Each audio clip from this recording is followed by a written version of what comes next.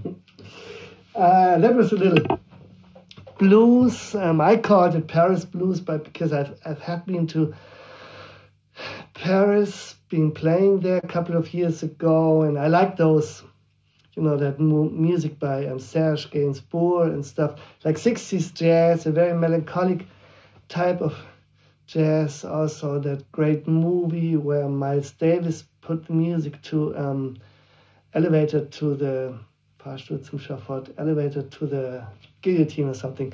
That's it. And now, with the current situation, traveling has become an issue again. It's crazy, crazy. It's so crazy because, like, for a couple of decades, we could just, you know, go wherever we wanted. I'll be playing Prague, Praha, Czech Republic next week for three days, which is like pretty, yeah, you know, it's like that direction.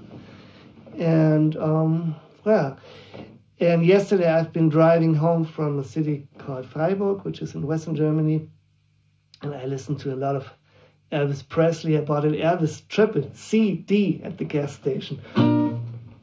So I do the one German song that Elvis did, and I like I like Elvis and I like Elvis movies. I'm probably the only person in the world who likes Elvis movies, but doesn't mind. Um, doesn't matter. Um, it's called um, what he called it Wooden Heart. Originally, it's called Muss i denn, and the lyrics he sings in German they're so funny because they actually retranslated from it's German translated into English and then retranslated into German. So the German he sings his pronunciation is pretty good, but but but but the words he sings, you you would just never say them say them in Germany. It's like Google Translate twice. But I hmm. like the tunes. I like the tune, and I like Alice's delivery and the scene with the puppets and everything. You know the tune.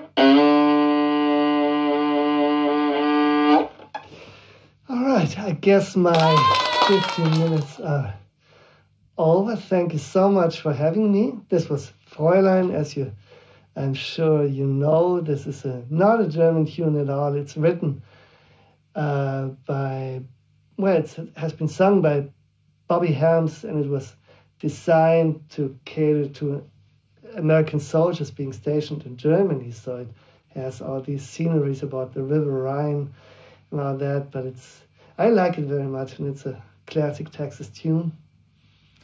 Thanks so much for listening and carry on.